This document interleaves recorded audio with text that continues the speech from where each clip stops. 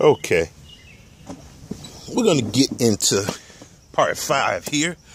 This is Lewis Thomas with Master Carpenter Series Part 5, dealing with mixed pitches or bastard pitches, pitch roofs, okay, dual pitch roofs, however you want to say it, all right?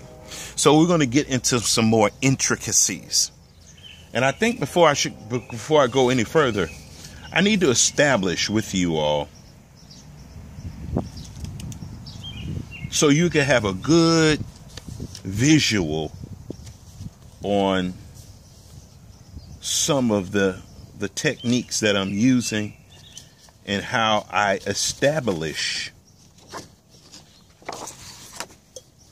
and and, and, and how I establish uh,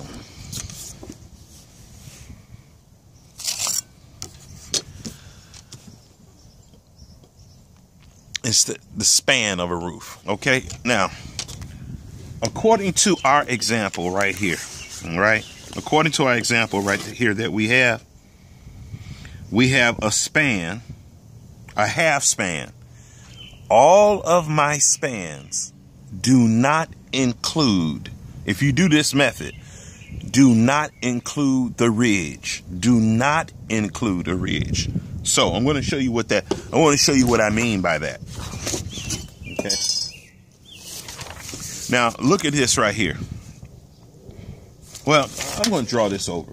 I'm just going to draw it over so it's neat. It's no confusion, and you can get a good example of what I'm talking about. So let's let's let's let's do this here. We're going to do this. And this is, I'm drawing this like we're looking down on the roof, okay? I'm drawing this as if we are in a helicopter and we're looking down on the roof, right?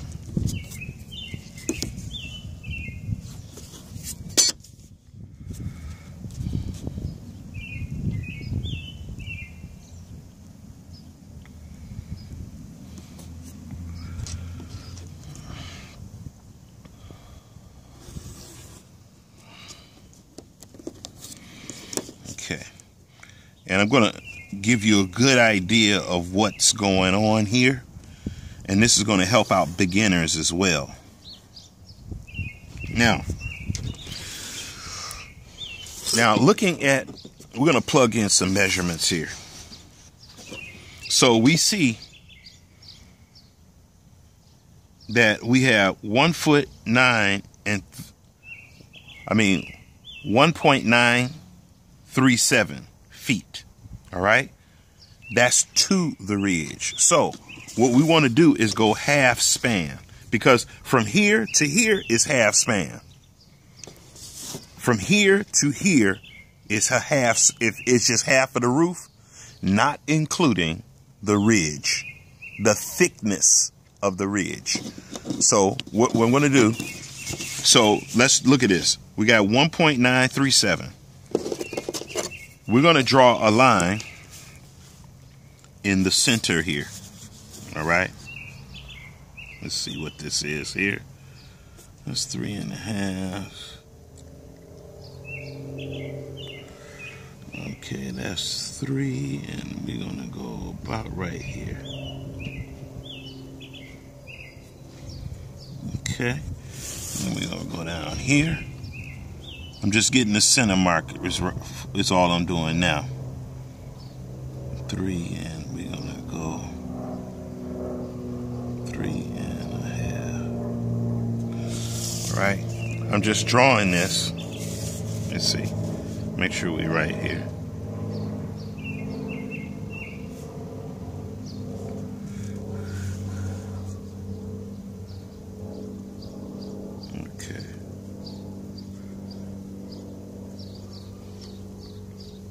So we're going to do that about right there. That's about center. We're to do that.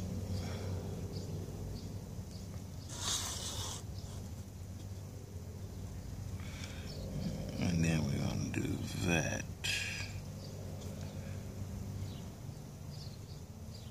Oh, okay. That. And then that's center right there. right? Just bear with me here. Bear with me. So all we're doing here is finding the center. That's all we're doing. Is finding the center. Now, what else we're going to do? That's the center of the ridge. Right? That's the center of the ridge. Now what we're going to do is draw two more lines. And these lines are going to equal the thickness of the ridge. These lines are going to equal the thickness of the ridge. Okay? So, our, and our ridge is, for this example, we're just going to say an inch and a half. So, what we're going to do is write, we're going to just write a bracket here and this is an inch. Write a bracket here, and this is one inch and a half. Okay, that's how thick this is. Now, on this side, on this side, from the building line, which is represents this line, all the way to this to, to this line here, that's up to the ridge, is 1.937. So we're going to put 1.9 1.93 seven and this is feet and this in inches is 23.25. So we'll put 23.25 inches. Okay. So now that we established the half span of this building, we already know what the other side is. It's the same. It's going to be 20. It's going to be the same thing. The measurement for this side and the measurement for this side is exactly the same. Okay. If you were, so now this view that we're looking at it here, the view that we're looking at this here is looking down at the top of the roof. But if we would look straight on at the roof, just so I don't have to do too much unnecessary drawing because I've done this before. I believe I got something here. Okay, this is good. So, from here to here represents the building line all the way to the ridge. This center line represents this center line. And this line over here represents the other side that the, the rafter butts up against. Okay? So this is looking at it from the ground level. This is the side of the building, and this is the roof. And you're looking at it from the side. So you can see the thickness of you can you can see the thickness of the ridge. This is the side of the building, and this is the roof on it. This is the thickness of the ridge. You always got to deduct for the thick thickness of the ridge. The ridge is not always an inch and a half. It depends on what the blueprints are calling for. You could have it's, it's, it's all I can't it's all kind of thicknesses of ridges, but most of the time it is an inch and a half. I will say that. So now that we got that out the way, we got our half span, okay? Now, let me show you how I, I, I normally do this. I'm to give you all the little little ways that I do this. So, we know we know that this is 1.937, okay? So we're going to multiply this by 2. Okay? Times 2 equals. Now that's feet. This is feet. This is feet. Okay? We're going to change this into inches by just multiplying it by 12.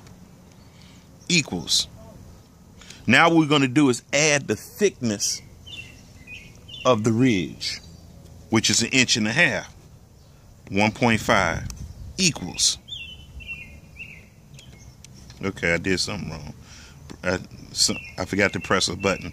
1.937 times 2 equals. I'm going to change this feet into inches just by multiplying times 12 equals. Then we're going to add that the ridge, which is an inch and a half, plus an inch 1.5 equals. So it's 47.98, which is basically 48 inches, okay? So what we're going to do, but we're going to write it down exactly the way it is. So what I'm to do, we got our half span here, okay? Half span to the ridge.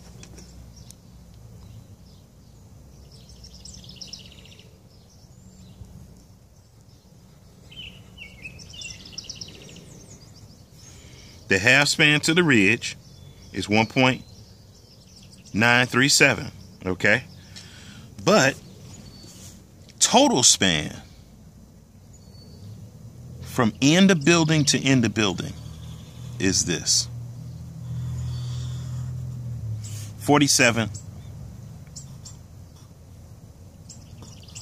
point nine eight eight okay? Inches we could change this into feet just by dividing by 12 equals. So it's basically four feet.